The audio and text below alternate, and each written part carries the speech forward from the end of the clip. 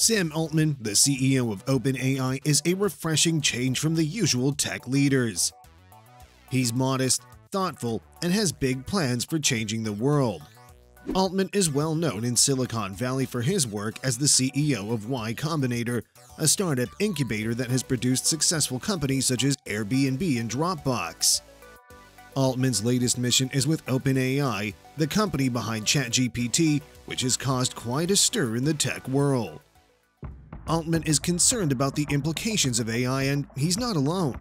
Elon Musk recently wrote a letter to the UN warning them about the dangers of AI. Musk is known for his outspoken nature, but in this letter, he strikes a serious tone. Musk urges the UN to take action and regulate AI, as he believes it poses a significant threat to humanity. Altman shares Musk's concerns, but he believes that the benefits of AI outweigh the risks.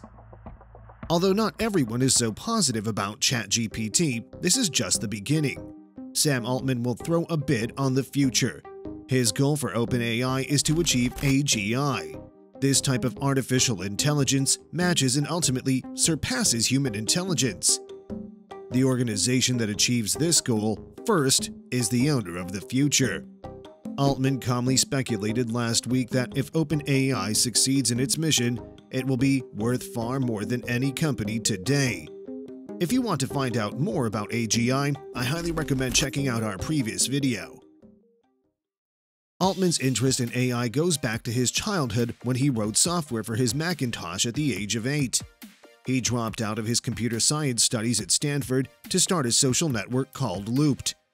Although the company didn't take off, Altman's potential was recognized by Y Combinator, which made him their CEO in 2014.